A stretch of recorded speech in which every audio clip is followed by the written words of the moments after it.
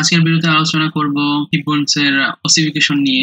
Ossification ভাইভাতে তেমন ধরে না, কিন্তু আমাদের জানা লাগে। কারণ এক্সরেতে দেখা যাচ্ছে কিছু কিছু অংশ অনেক সময় জোড়া লাগে না। তো মনে হয় যে সেগুলো ফ্র্যাকচার হয়ে আছে। এই জিনিসটা হয় বেশিরভাগ বাচ্চাদের ক্ষেত্রে। কারণ বাচ্চাদের ওসিফিকেশন হতে অনেক সময় লাগে। তো ওসিফিকেশনের কিছু সেন্টার রয়েছে। একটা প্রাইমারি সেন্টার একটা হলো সেকেন্ডারি সেন্টার তো প্রাইমারি সেন্টারটা হয় ওসিফিকেশন হয় আমরা যখন মায়ের পেটে থাকে বা ইন্টার ইউটেরিয়াল লাইফে থাকি, তখনই প্রাইমারি সেন্টারগুলো অসিবিশন হয়ে যায়। কিন্তু সেকেন্ডারি সেন্টারগুলো অসিবিশন হয় আফটার বার্থ আমরা যখন জন্মগ্রহণ করি তখন।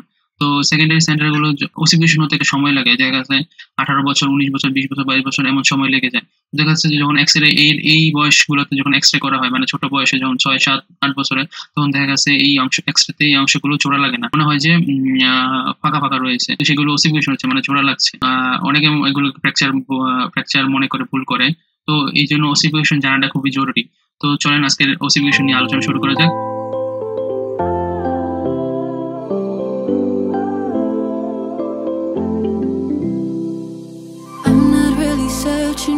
যে an ossification the hip bone ossifies in cartilage from three primary centers and five secondary centers hip bone ossify হচ্ছে তিনটা প্রাইমারি সেন্টার তিনটা প্রাইমারি সেন্টার এবং পাঁচটা সেকেন্ডারি সেন্টার প্রাইমারি সেন্টারগুলো সবসময় অরিজিন হয় মায়ের পেটে মানে ইন্টারইউটেরিয়াল লাইফে আর সেকেন্ডারি সেন্টারগুলো অরিজিন হয় আফটার বার্থ মানে জন্মের পরে The primary centers appears one for the ileum during the second month of intrauterine life primary center মধ্যে একটা রয়েছে হলো আইলিয়াম।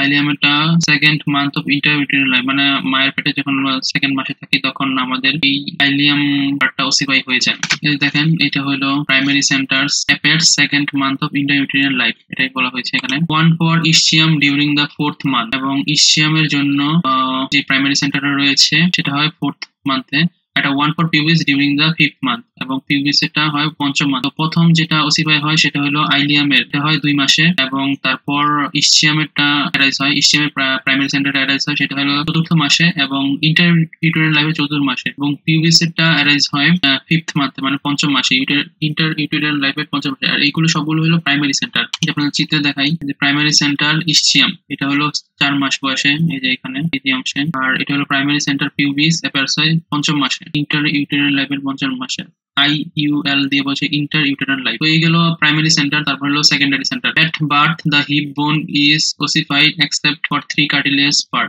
জন্মের সময় হিপ বোনের সবকিছুই ওসিফাই হয়ে যায়, শুধু তিনটা কার্টিলেজ পার্ট ছাড়া। Iliac crest iliac crest arise হয় না। এই যে এটা ছিল আমাদের আইলিয়া ক্রেস্ট এখানে কালো যে অংশ দিয়ে এটা দিয়ে বোঝা যাচ্ছে এপিফাইশিয়াল লাইন তো আরেকটা জিনিস প্রাইমারি সেন্টার সবসময় এরাইজ হয় ডায়াফাইসিস বোনসের মনে করেন এটা হলো একটা বোনস একটা লম্বা বোনস এই যে এটা হলো একটা বোনস এই বোনস এর মাঝখানে রয়েছে হলো ডায়াফাইসিস আর উপর দিকে রয়েছে এপিফাইসিস প্রাইমারি সেন্টারগুলো থাকে সবসময় ডায়াফাইসিস আর উপরের দিকে এপিফাইসিস বোঝে যে এপিফাইসিস অংশ রয়েছে, সেখান থেকে হলো secondary center the iliac crest a Y shape cartilaginous separating the ilium ischium and pubis দেখে আপনাদের ওয়াই শেপ এই যে এই যে এখানে, এটাও ই হয় না ওয়াই শেপ বোঝানো হয়েছে। আর হলো steep along the inferior margin of the bone of the including ischial tuberosity ischial টিউবারসিটিতে এটা লাইন আর এখান থেকে সেকেন্ডারি সেন্টারগুলো অ্যারাইজ হওয়া শুরু করে। তো আপনারা যে ছোট বয়সে কারও এক্সরে করেন, তো এই যে, এই অংশে তো জোড়া লাগেনি এখনও, বা এই অংশে এখনও জোড়া লাগেনি,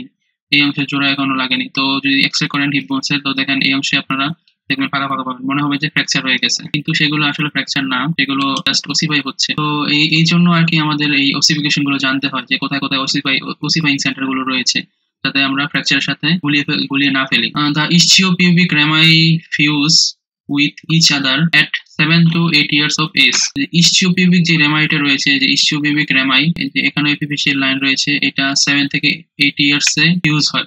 তো সাত থেকে আট বছরের আগে যদি আপনারা এক্স রে করেন, তো দেখেন এই অংশে ই করবেন, ফাঁকা পাবেন। তো মনে হইতে পারে যে এটা ফ্র্যাকচার হয়ে গেছে, কিন্তু আসলে সেটা ফ্র্যাকচার না, সেটা ওসিফাই হচ্ছে। মানে জোড়া লাগতেছে।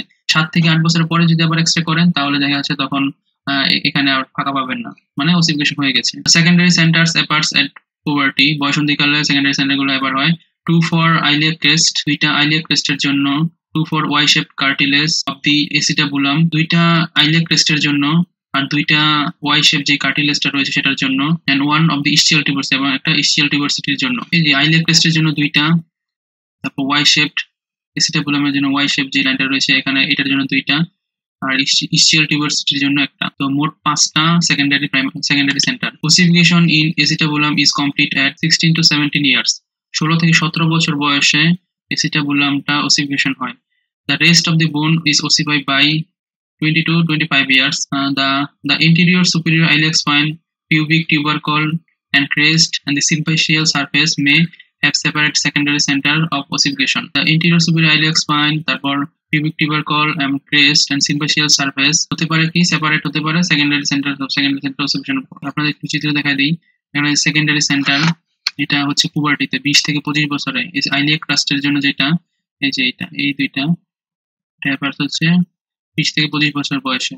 তারপর ওয়াই শেপ যে অংশটা রয়েছে appears at puberty fusion twenty to twenty five years এটাও ঠিক same secondary center appears twenty to twenty five years এখানে এটার জন্য দুইটা, এই যে দুইটা, এটার জন্য দুইটা, আর এটার জন্য দুইটা সেকেন্ডারি সেন্টার তারপর সেকেন্ডারি সেকেন্ডারি সেন্টার এটার জন্য দুইটা, এই যে এখানে দুইটা, আর এই ইস্টিয়াল টিউবারসিটির জন্য একটা। তো এই ছিল আমার ওসিফিকেশন নিয়ে ভিডিও যদি ভিডিওটি ভালো লাগে, তাহলে অবশ্যই লাইক কমেন্ট করতে ভুলবেন না। আর যদি এখন সাবস্ক্রাইব করে না থাকেন, তাহলে অবশ্যই সাবস্ক্রাইব করুন। তো সম্পূর্ণ ভিডিওটি দেখার জন্য ধন্যবাদ। আর অবশ্যই আপনার বন্ধুদের সাথে ভিডিওটি শেয়ার করবেন। ততক্ষণ সবাই ভালো থাকবেন। ধন্যবাদ সকলকে। Trying hard not to get obsessive.